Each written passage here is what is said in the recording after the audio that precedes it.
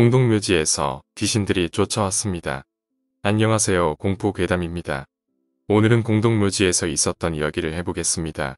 그럼 이야기 시작하겠습니다. 대학 시절 친구가 죽은 지 4년이 지났습니다. 지난주에 대학에서 같이 부활동을 했던 친구들이 모여 그 녀석의 무덤에 성묘를 하러 갔습니다. 한적한 시골의 작은 공원묘지였기에 휴일 낮인데도 우리 말고 다른 참배객은 없었지요. 따로 할 일도 별로 없었고 남자 다섯이 흉하게 몰려와서 참배나 하고 있었기에 주변에 카페를 찾아 거기서 옛날 이야기나 하기로 했습니다. 그래서 뒤로 돌아서 공원묘지를 나가려는데 출구에 사람이 있었습니다. 그곳은 무척 작은 곳이라 출입구는 두 명이 겨우 지나갈 정도로 엄청 좁았습니다. 우리 다섯이 거기를 우격다짐으로 지나가면 분명히 폐가 될 테니 그 사람이 지나갈 때까지 기다리기로 합니다. 하지만 그 사람은 움직이지 않았습니다. 꽤 거리가 있어서 얼굴은 보이질 않지만 딱히 뭔가 하려는 듯한 낌새도 없었습니다. 어쩔 수 없겠다는 생각에 그냥 지나가려고 하는데 처음 있던 사람 옆에 사람들이 잔뜩 서 있다는 걸 알아차렸습니다. 뭔가 모임이라도 하는 건가 싶었지만 생각해보니 이상했습니다. 화창한 날이라 조금 거리는 있어도 저편의 모습은 잘 보였습니다. 출입구 주변에는 철조망이 쳐져 있고 밖은 주차장입니다. 누가 출입구 쪽으로 다가온 거라면 바로 눈에 들어왔을 것입니다. 게다가 출입구에 서 있던 사람이 비키면 지나갈 요령으로 계속 바라보고 있었지요. 처음 우리가 봤을 때는 출입구에는 한 명밖에 없었지만 그게 한순간에 10명이 넘는 무리로 늘어나 있었습니다. 당황해 주변을 보니 친구들도 뭔가 미묘하다고 할까 납득이 되지 않는다는 표정을 짓고 있습니다. 화창한 휴일 낮이다 보니 아직은 공포감이 엄습하거나 하지는 않았습니다. 하지만 이건 아무리 생각해도 이상했고 기분이 나빴습니다. 그리고 한 번 더 출구 쪽을 보았습니다. 더욱 사람이 늘어난 것처럼 보였습니다. 그런데도 아무도 들어오지 않았지요.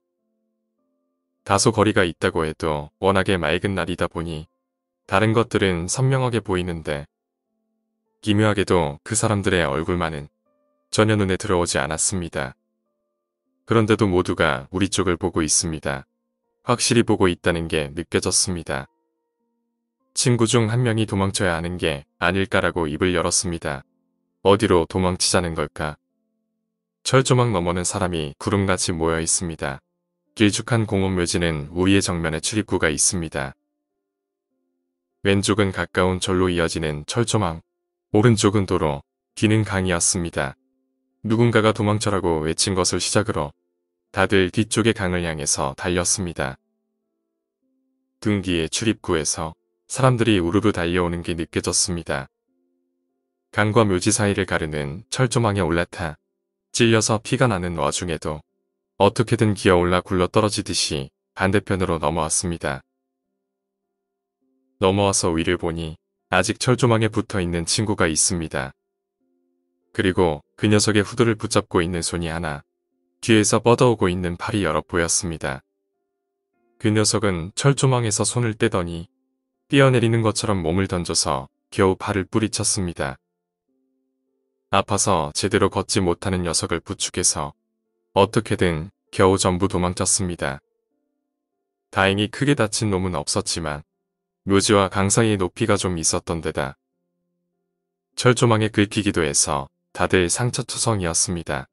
그리고 차는 여전히 주차장에 있는 채였습니다. 몇 시간이 지나고서야 겨우 안정을 되찾고 우리는 절에 전화해서 스님과 동행해서 차를 가지고 돌아왔습니다.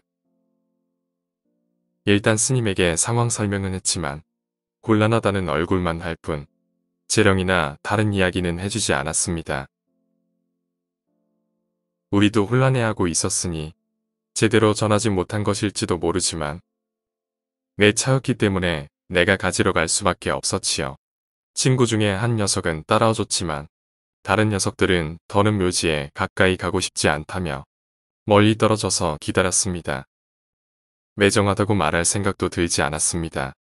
나 스스로도 너무나 무서웠기 때문입니다. 저녁이 되어 주차장에서 본 묘지는 아무런 변화가 없는 것 같았지만 소름이 끼쳤습니다. 이제 그 녀석 무덤의 성묘는 어떻게 해야 하는 걸까요?